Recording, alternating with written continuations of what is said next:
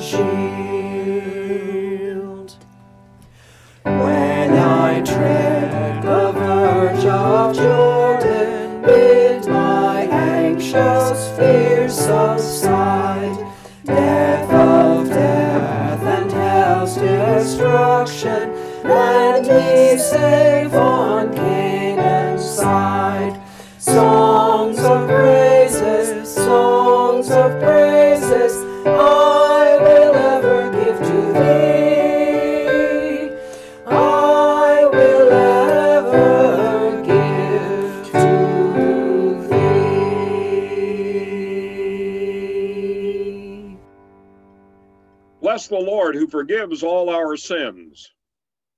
His mercy endures forever. Almighty God, to you all hearts are open, all desires known, and from you no secrets are hid. Cleanse the thoughts of our hearts by the inspiration of your Holy Spirit, that we may perfectly love you and worthily magnify your holy name through Christ our Lord. Amen. Lord, have mercy upon us. Lord, have mercy upon us. Lord, have mercy upon us. Christ have mercy upon us. Christ have mercy upon us. Christ have mercy upon us. Lord, have mercy upon us. Lord, have mercy upon us. Lord, have mercy upon us. The Lord be with you. And also with you. Let us pray. Gracious Father, whose blessed Son, Jesus Christ, came down from heaven to be the true bread which gives life to the world. Evermore give us this bread, that he may live in us and we in him, who lives and reigns with you in the Holy Spirit, one God, now and forever. Amen. The first reading is from the book of Numbers, chapter 21, verses 4 through 9. From Mount Hor, the Israelites set out by the way to the Red Sea to go around the land of Edom. But the people became impatient on the way. The people spoke against God and against Moses. Why have you brought us up out of Egypt to die in the wilderness? For there is no food and no water, and we detest this miserable food. Then the Lord sent poisonous serpents among the people, and they bit the people, so that many Israelites died. The people came to Moses and said, We have sinned by speaking against the Lord and against you. Pray to the Lord to take away the serpent from us. So Moses prayed for the people, and the Lord said to Moses, Make a poisonous serpent and set it on a pole, and everyone who is bitten shall look at it and live. So Moses made a serpent of bronze and put it on a pole. And whenever a serpent bit someone, the person would look at the serpent of bronze and live. The word of the Lord. Thanks be to God. Psalm 107. Give thanks to the Lord, for he is good, and his mercy endures forever. Let all those whom the Lord has redeemed proclaim that he redeemed them from the hand of the foe. He gathered them out of the lands, from the east and from the west, from the north and from the south. Some were fools and took to rebellious ways. They were afflicted because of their sins. They abhorred all manner of food and drew near to death's door. Then they cried to the Lord in their trouble, and he delivered them from their distress. He sent forth his word and healed them and saved them from the grave. Let them give thanks to the Lord for his mercy and the wonders he does for his children.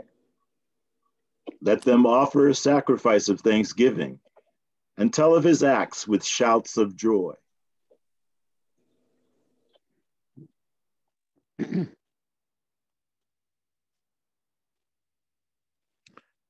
second reading is from Ephesians chapter 2, verses 1 through 10.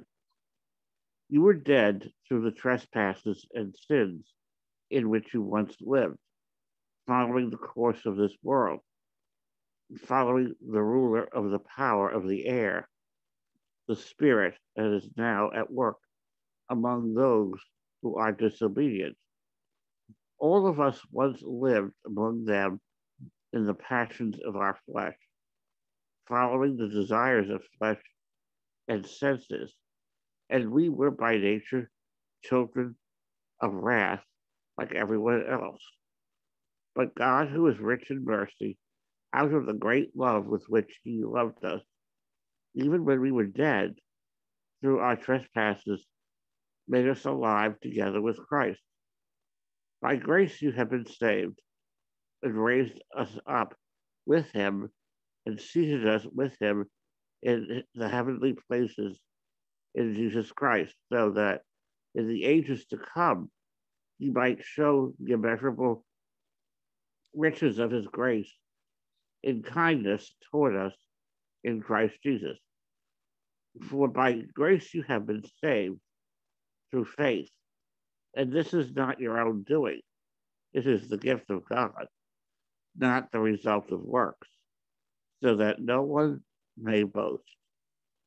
For we are what he has made us, created in Christ Jesus for good works, which God prepared beforehand to be our way of life. The word of the Lord.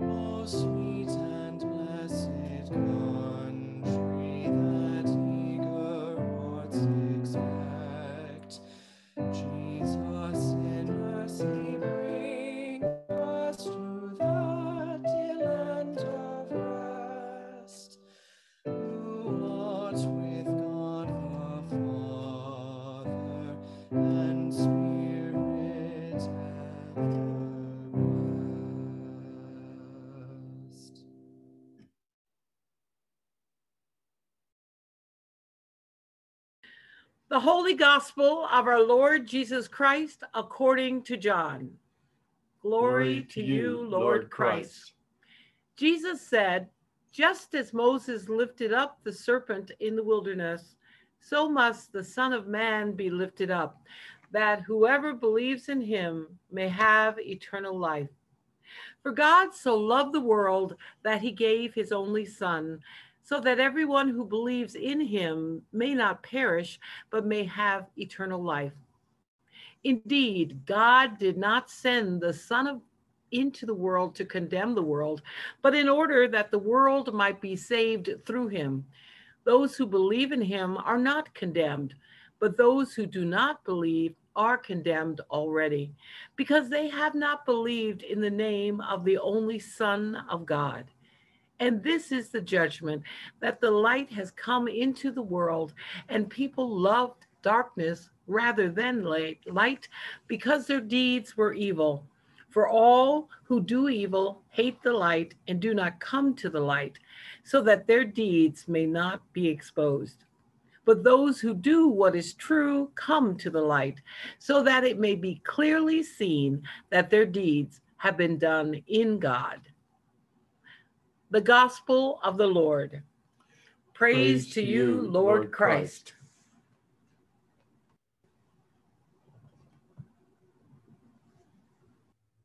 In the name of God, Father, Son, and Holy Spirit.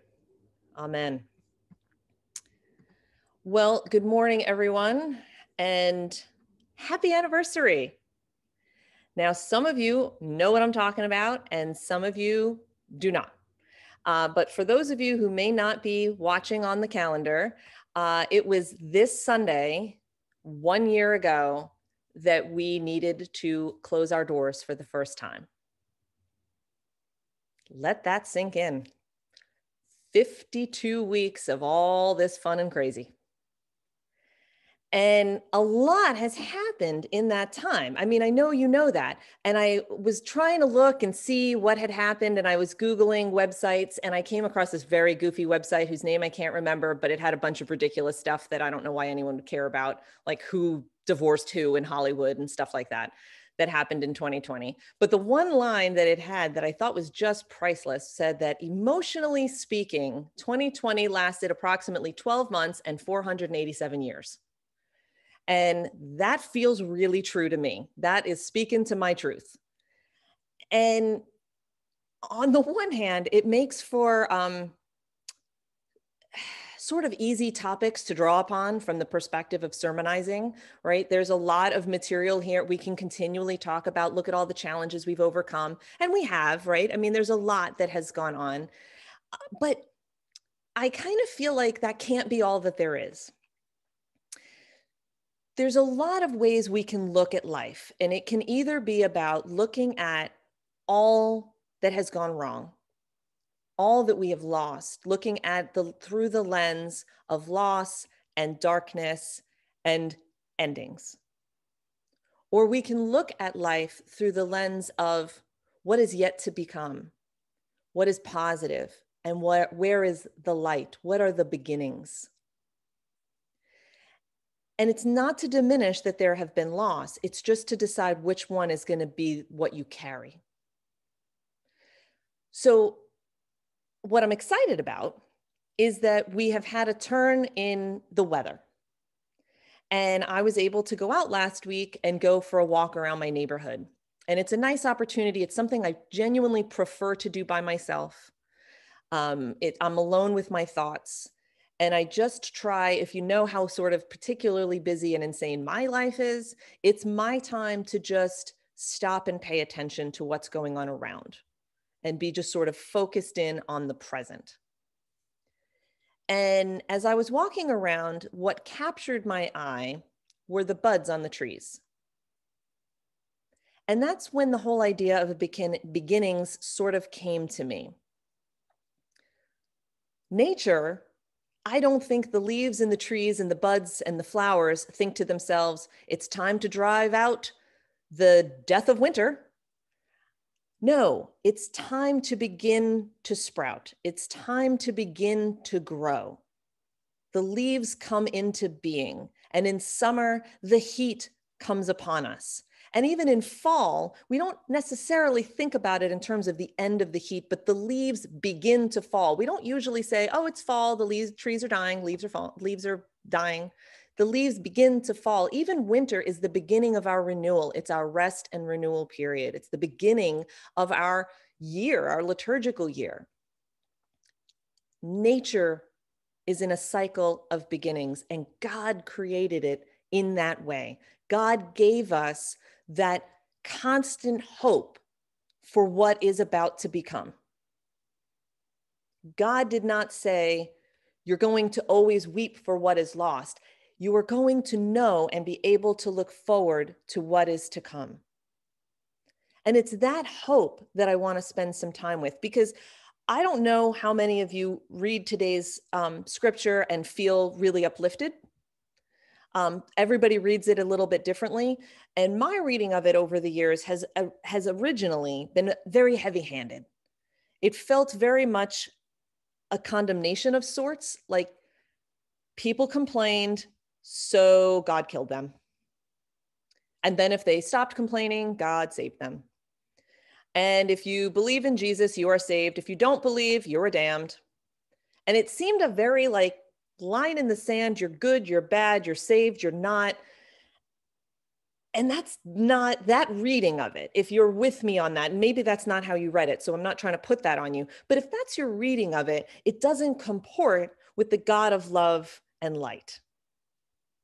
So for me, I tried to dig a little deeper in this spirit of understanding God from the perspective of beginnings and of hope. And I don't believe that this is all about what's going to happen after when we are have moved on shall we say. I think this is about our present. How are you living today? Are you embracing god in your life today? Because if you aren't you are probably suffering and lonely and afraid. And if you have God in your life, does that mean you don't have suffering? No, but it means that it's easier and more bearable. And we have that hope of what comes next. And how do I know this is true? Because I ask you to ask yourself right now think about the 487 years that were 2020 and ask yourself if you think they would have been worse if you didn't have God.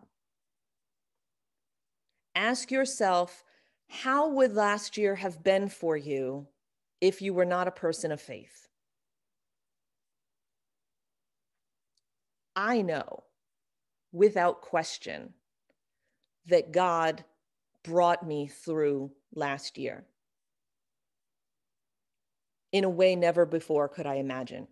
I know that God does not only come to us through the sacraments and through the scripture, but God comes to us through community, through our love of one another. I know that I survived last year because of you. You were the light of Christ in my life.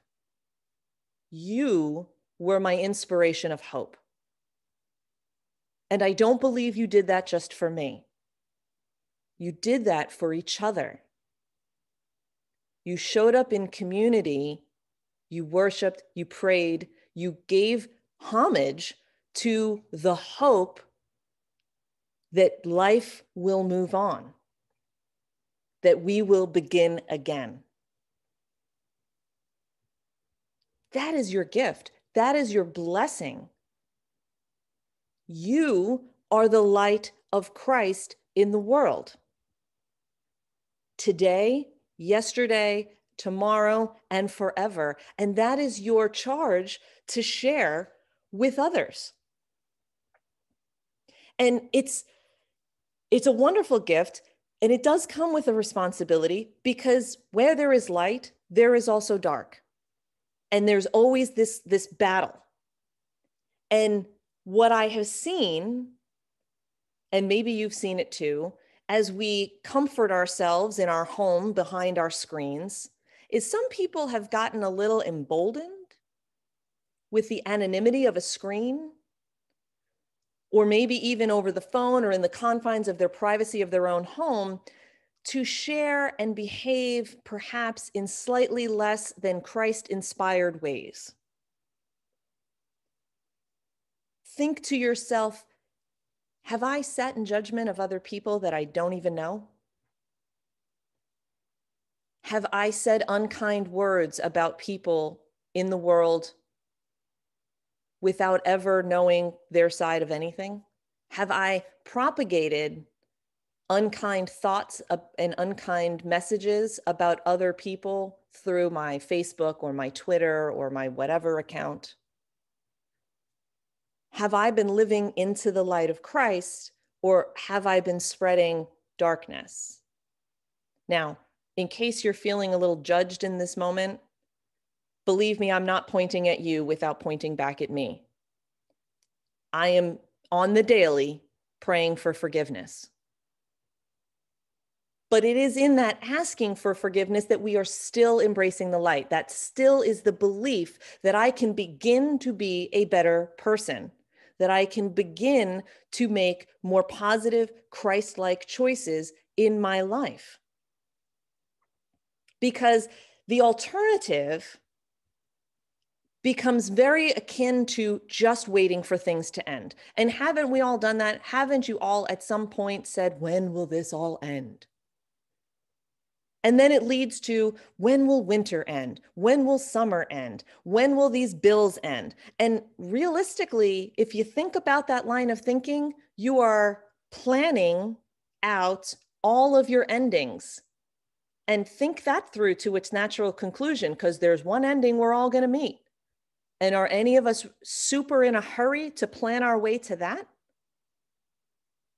But if we embrace the beginning, that today is a charge of a new day, Christ did not come into the world to condemn the world. Christ came into the world to redeem the world. That is a beginning.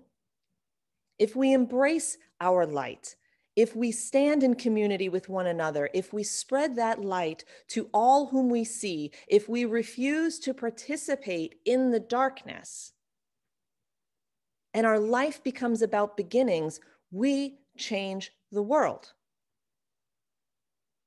And it may be one person at a time, but I can tell you for a fact you changed my life. Whoever feels like I'm pointing at you right now through this Zoom camera, you changed my life. And that's a gift. I guarantee you change the lives of others. And by doing so, you inherently change yourself. when we leave today from this service, my hope is that you will embrace the light of God and of Christ in your life. My hope is that you will share that hope with others. My hope is that you will feel the love of everyone in your community because a year ago we closed our doors and today we worshiped with 15 people. Today we began anew. My hope for you is that today you will begin anew. My hope for you is that you will continue to find hope in all that you do. But my friends, the most important thing as I leave here today is that I will hope. And I hope you will as well. Amen.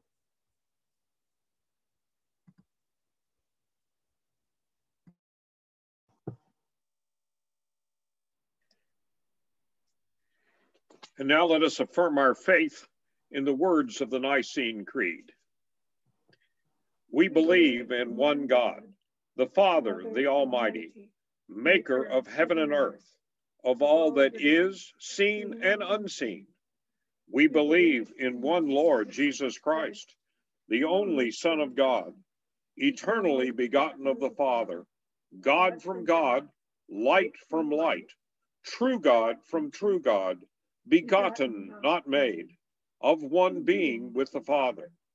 Through him all things were made. For us and for our salvation, he came down from heaven. By the power of the Holy Spirit, he became incarnate from the Virgin Mary and was made man. For our sake, he was crucified under Pontius Pilate. He suffered death and was buried. On the third day, he rose again in accordance with the scriptures. He ascended into heaven and is seated at the right hand of the Father. He will come again in glory to judge the living and the dead, and his kingdom will have no end. We believe in the Holy Spirit, the Lord, the giver of life, who proceeds from the Father and the Son. With the Father and the Son, he is worshiped and glorified. He has spoken through the prophets.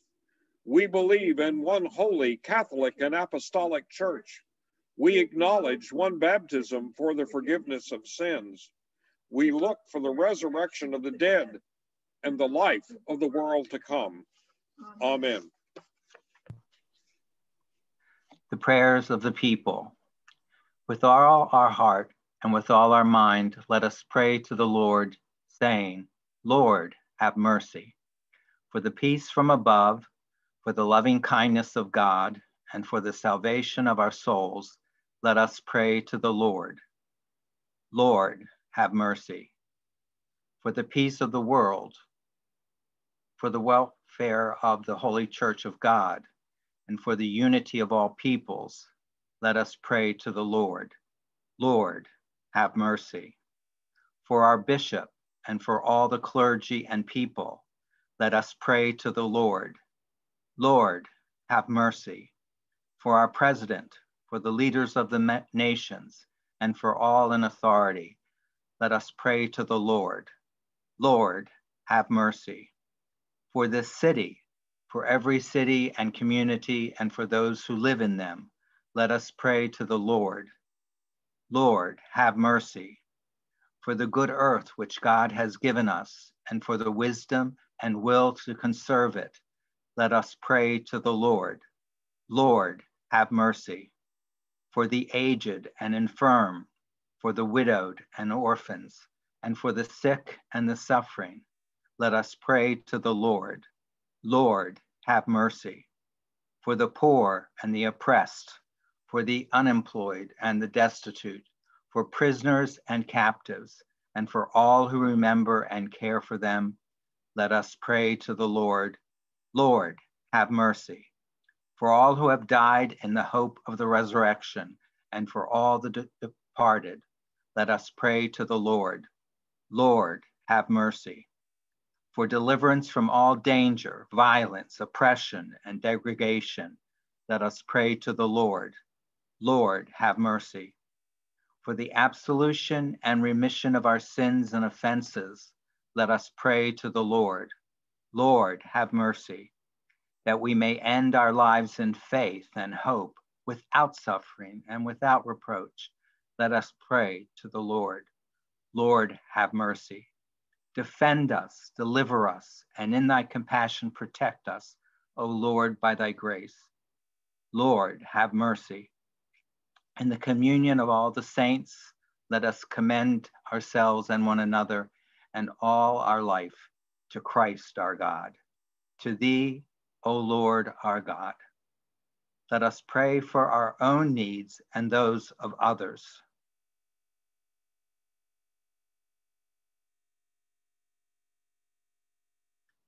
We offer prayers for our families, Fred Steffens, Lou, Kina, Luisa, and Eli Story, Will and Vicky Tarantino, and Lisa, Dan, Ryan, and Sarah Thompson. We offer prayers for our frontline workers during this COVID crisis. Michelle, Beverly, Vic, Allison, Catherine, Anna, Carl, Victoria, Victor, Brandy, Joey,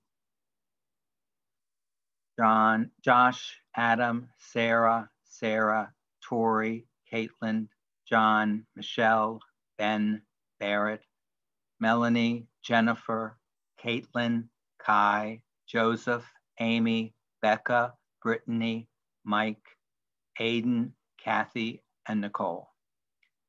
We offer prayers for our military and their families, Anthony, Lucas, Anna Marie, Chandler, Vincent, Brian, Jerome, Beth, Grant, Patrick, Jonathan, Walter, Justin, Cameron, Adrian, Brad, Cody, Josh, Ben, David, Mike, Kevin, Jerry, Danielle, and Luke.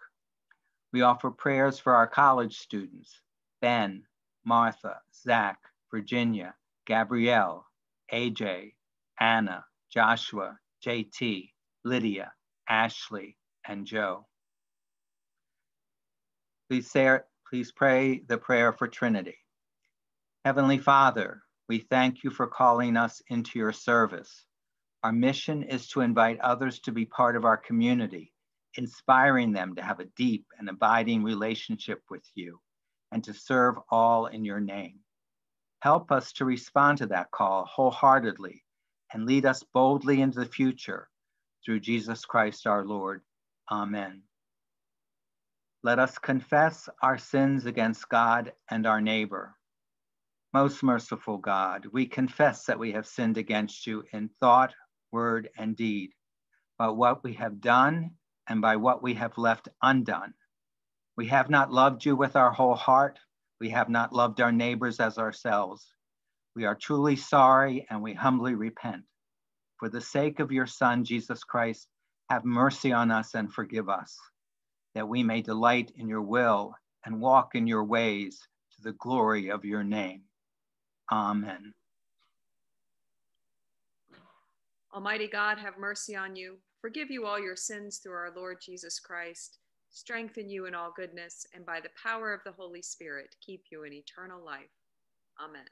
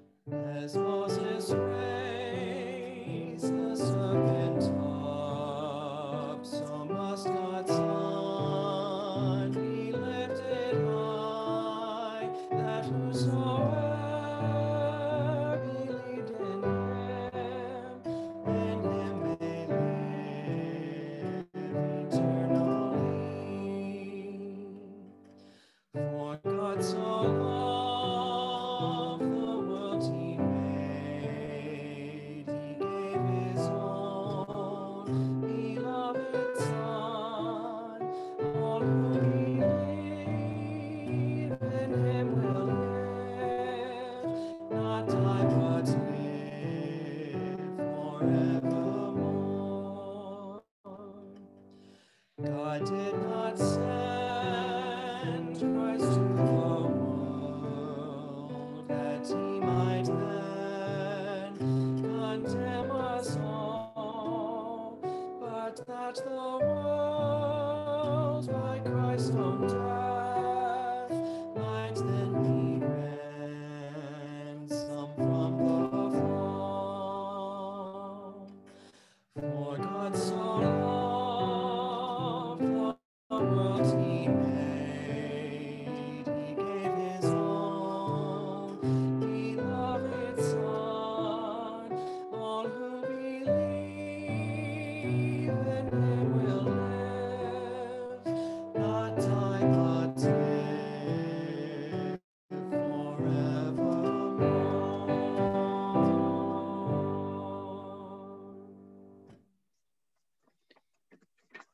as our Savior Christ has taught us, we are bold to say, Our Father, who art in heaven, hallowed be thy name.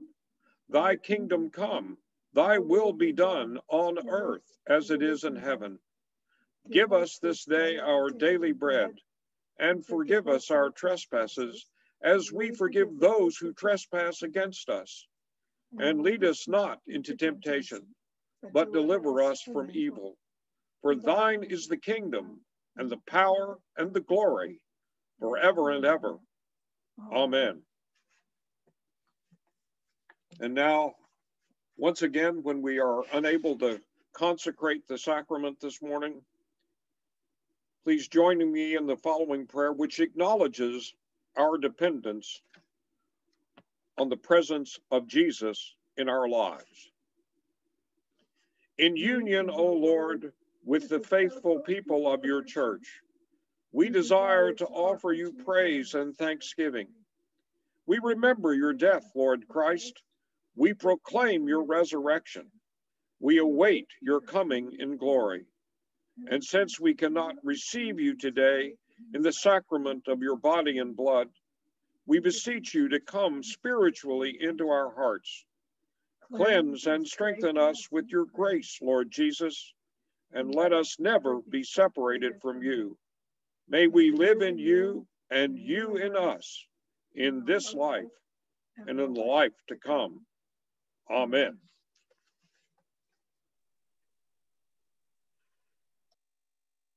Um, just a few announcements this morning. Um, First, uh, just a reminder that next Sunday on our 10 o'clock Zoom call is a communion service. So um, if you do not have the little communion kits and you're planning to sign in that way, instead of coming to the 8 o'clock, then you'll want to come by and pick those up from the church. Um, we are open on Wednesday from 11 to 1. Someone will be there, um, and we'll have other um, we'll have other times published and available. And if those times that we publish don't work for you, you can just let us know and we can arrange to meet you at the church at another time uh, to get you those communion kits. I also want to invite you, if you can. I know we a lot of us stay on for coffee hour, but some tend to go because they have other things, um, and that's that's fine. But if you can stay on today, just for a little bit, um, as soon as the service concludes, what I'd like to do is just have a brief discussion about Holy Week. Um, the clergy and staff have been talking about what Holy Week is going to look like this year, and we just need your opinion. Um, it's hard to make decisions when we don't know where you guys are with some of this stuff. So if you could just stay on for a few minutes, I just want to kind of throw out the ideas that we have and kind of get a general feel for um, preferences from you. So I'd, I'd appreciate that help. Um, other announcements that we need to make this morning? Frank, did I get that covered? Go ahead. Yeah, look, I have I have one. Sure. Uh, just a reminder that again this year we're going to be having Easter lilies for the church. So, um, um, as in past years, um, we you're welcome to order an Easter lily, but please have your orders in by March the 22nd. Um, each plant, uh, each lily will be uh, will cost um, $30. Um, and of course, we will recognize either a person, a loved one uh, who is no longer with us, or in Thanksgiving for someone in, we'll recognize both you and your loved one in the bulletin. Uh, thanks for that reminder, um, because that will be used to decorate for our Easter service. So and then after the 10 o'clock um, Easter service on Sunday, you'll be able to take your lilies home. All right, are there birthday prayers? You'll need to unmute yourself and say your name if you could, if you have a birthday coming up. And it's Charlie. I'd like you to, yeah, my grandson Owen is going to be 10 on St. Patrick's Day this oh, week digits. That's amazing. they did name him Patrick, huh? No, uh, Owen was a better choice, I think. I agree completely. Anyone else have a birthday? Can we also pray for Michael's grandson, Rory, who turns two the day after St. Patrick's Day? Oh, so sweet. All right, Owen and Rory. Anyone else? All right. Let us pray for Owen and Rory.